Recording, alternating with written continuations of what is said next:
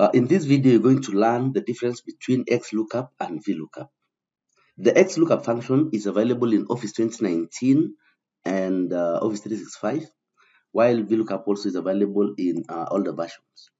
The lookup functions are found under lookup and reference, and there is here you get there is um, VLOOKUP is here, and then uh, there is XLOOKUP.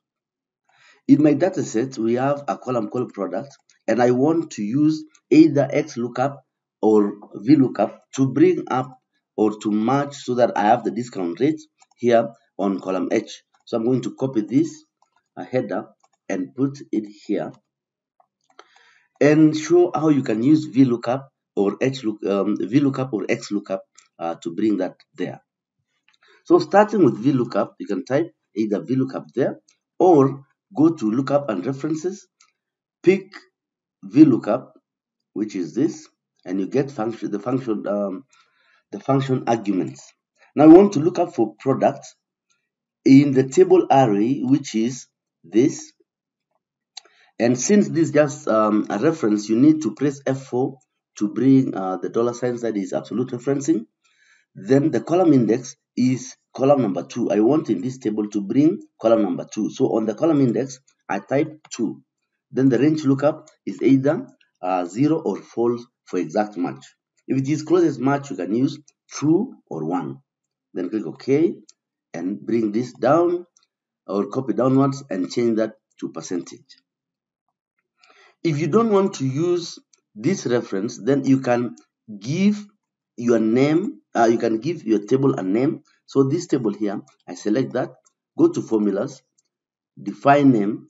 Under define name, I can call this product discounts.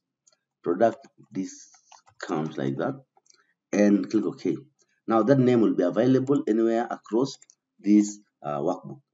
Then I come back here and rewrite the VLOOKUP function, but this time round introduce the name range. So it's equals to VLOOKUP. You can also press Control A or click FX to get this.